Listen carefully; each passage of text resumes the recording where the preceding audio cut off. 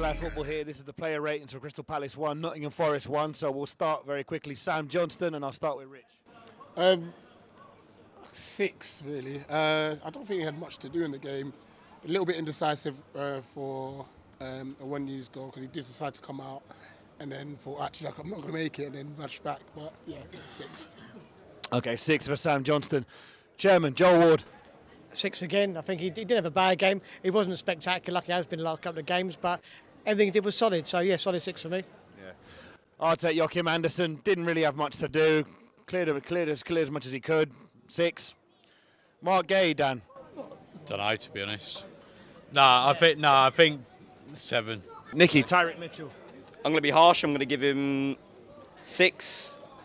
Didn't really. We didn't usually. We didn't actually use the left a lot. So unfortunately, it didn't really work out for him. But yeah, he, he looked a little bit out of sorts. So yeah, six for me. Uh, Jordan, Cheick Doucouré. Uh, it's got to be a six. Normally he's the best player on the pitch, but today he just seemed to be a little bit off it. Maybe a few more beer, few, few too many beers, but Nicky, Eberechi Eze. I'm going to give him a solid eight. He he was running around a lot. He was using a lot of the passing. It's ju- maybe, maybe, but I, I've been asked, so I'm going with an eight. Um, yeah, he was setting up a lot of passes. He was using the space relatively well. He was asking for the ball a lot. He was linking up with with Ez, uh, Eze. He was linking up with Olise and with Ayew. So yeah. Okay, fair enough. Dan, uh, let's go with uh, Will Hughes. Oh, he was man of the match.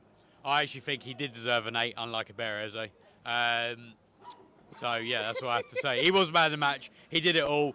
To be honest, I I kind of half, kind of kind of half expected it because he is an ex-Derby boy, ex-Derby academy against Forest. Kind of expected it, really. I guess. Fair enough. I'll take Michael Olise. He kind of caused havoc down there, left hand side, but his crossing was off. The corners were, were dead, so four.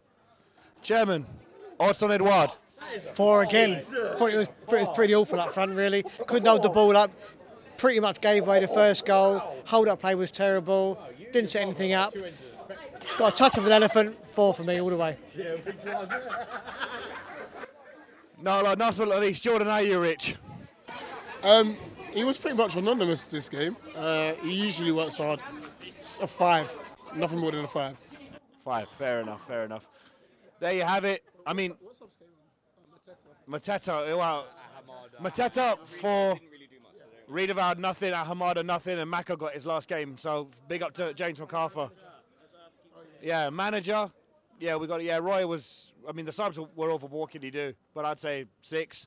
And the fans, the Forest fans, ten out of ten. Our fans, nine out of ten. I'd say.